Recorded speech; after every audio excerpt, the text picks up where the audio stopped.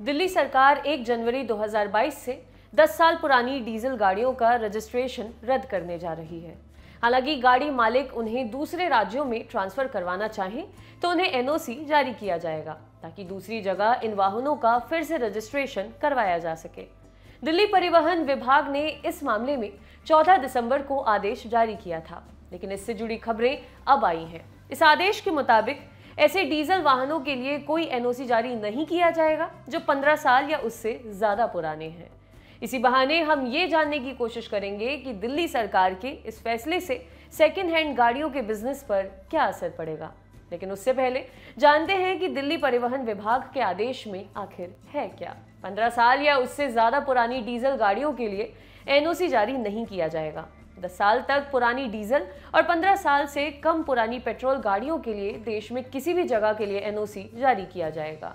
दस साल से ज़्यादा पुरानी डीजल और पंद्रह साल से ज़्यादा पुरानी पेट्रोल गाड़ियों को दूसरे राज्यों में ले जाने के लिए कुछ शर्तों के साथ एनओसी जारी किया जाएगा। लेकिन उन जगहों के लिए एनओसी जारी नहीं किया जाएगा, जहाँ एनजीटी ने बैन लगाया है।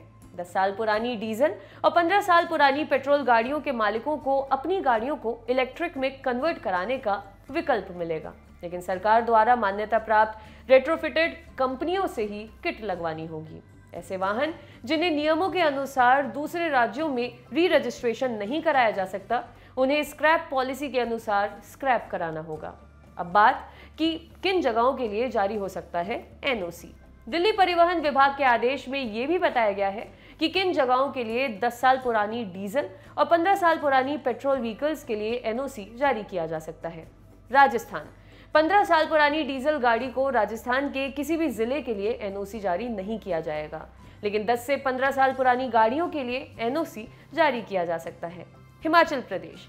यहाँ के किसी भी ज़िले के लिए 10 से 15 साल पुरानी गाड़ियों को एनओसी जारी नहीं किया जा सकता।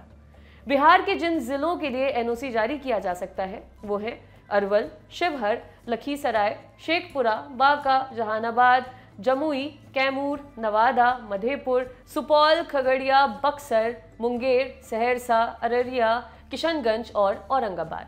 अब बात की बिहार के जिन जिलों के लिए एनओसी जारी नहीं किया जा सकता है, उनमें है पटना, मुजफ्फरपुर, गया, भोजपुर, आरा, छपरा, मोतिहारी, दरभंगा, बेगूसराय भागलपुर, पूर्णिया, नालंदा, बेतिया, रोहतास, गोपालगंज, सिवान, सीतामढ़ी, वैशाली, मधुबनी, समस्तीपुर और कटिहार। महाराष्ट्र। महाराष्ट्र के इन शहरों के अलावा अन्य जगहों के लिए एनओसी जारी किया जा सकता है, जैसे मुंबई थाने मीरा भयंदर, नवी मुंबई, कल्याण डोंबिवली, उल्हासनगर, भिवंडी, वसई विरार, पुणे, पिंपरी छिंदवाड़, कोल्हापुर, सांगली मिराज, सोलापुर, अंबेडकर नगर, नासिक, मालेगांव जलगांव, धुले, औरंगाबाद, नांदेड़ परभड़ी सिटी, लातूर, अकोला, अमरावती, नागपुर और चंदरपुर। उत्तर प्रदेश। वहीं यूपी में 33 जगहों के लिए एनओसी जारी किया जा सकता है। उन सब के अलावा किसी भी जगह के लिए एनओसी जारी नहीं किया जा सकता। पश्चिम बंगाल। यहाँ राजधानी कोलकाता में केवल बी एस फोर मानक वाली गाड़ियों का रजिस्ट्रेशन कराया जा सकता है। कोलकाता के बाहर बी एस फोर के अलावा बी एस थ्री मानक वाली गाड़ियों का भी रजिस्ट्रेशन कराया जा सकता है। मेघालय, यहाँ पंद्रह साल पुरानी गाड़ियों के लिए एनओसी जारी किया जा सकता है। अब बात करते हैं कि सेकेंड हैंड गाड़ियों के बिज़नेस पर इससे क्या असर होगा। दिल्ली सरकार कह रही है कि आप 1 जनवरी 2022 से राजधानी में 10 साल पुरानी गाड़ियों को नहीं चला पाएँगे। सरकार डीजल गाड़ियों का रजिस्ट्रेशन रद्द कर देगी। हालाँकि सरकार ये भी कह रही है कि अगर आपके पास 10 साल पुरानी डीजल गाड़ी है तो उसे दूसरे राज्यों में ट्रांसफ़र करवा सकते हैं। इसके लिए हम एनओसी जारी कर देंगे। अगर आप यूपी या बिहार के किसी ज़िले से हैं तो आपने अपने ज़िले में दिल्ली नंबर वाली सेकेंड हैंड गाड़ियों को देखा ही होगा। लंबे समय से लोग दिल्ली से गाड़ी खरीद कर इन ज़िलों में चलाते हैं। आमतौर पर शादी ब्याह में इस तरह की गाड़ियाँ बुकिंग के लिए यूज़ की जाती हैं। लेकिन पिछले कुछ समय से कई ऐसी कंपनियाँ मार्केट में आई हैं, जो लोगों से सेकेंड हैंड कार खरीदती और उन्हें फिर बाद में बेचती हैं। दिल्ली सरकार के आदेश के बाद अब कहा जा रहा है कि जिनके पास 10 साल पुरानी डीजल वाली गाड़ियाँ हैं, उन्हें घाटा होगा। उनके पास ये रास्ता होगा कि या तो वो अपनी गाड़ी को इलेक्ट्रिक में कन्वर्ट कराएँ या फिर उसे दूसरे राज्यों में बेच दें। अब जब कोई चीज़ मजबूरी में बेची जाती है तो उसकी कीमत भी औने पौने ही लगती है। ऐसे में गाड़ी बेचने वाले को घाटा हो सकता है। वहीं दिल्ली के बाहर के लोगों के लिए एक मौका हो सकता है कम दाम में गाड़ी खरीदने का। दिल्ली में सेकेंड हैंड गाड़ियों का कारोबार करने वाले बाबा कार बाज़ार से जुड़े एक व्यक्ति ने हमें नाम न बताने की शर्त पर बताया कि हमारे पास हर तरह के मॉडल की गाड़ियाँ बिकती हैं। वो चाहे नौ दस मॉडल हो या फिर ग्यारह बारह मॉडल हमारे यहाँ हर तरह की गाड़ियाँ बिकती हैं। महीने की पचास साठ गाड़ियाँ बेचते हैं। इनमें से ज़्यादातर डीजल गाड़ियाँ ही होती हैं। भले ही सरकार ने एक जनवरी की डेट दी है, लेकिन ये फैसला कब लागू होगा, देखना होगा। मुझे नहीं लगता कि इससे हमारे गाड़ियों के सेकेंड हैंड बिज़नेस पर बहुत ज़्यादा असर पड़ेगा।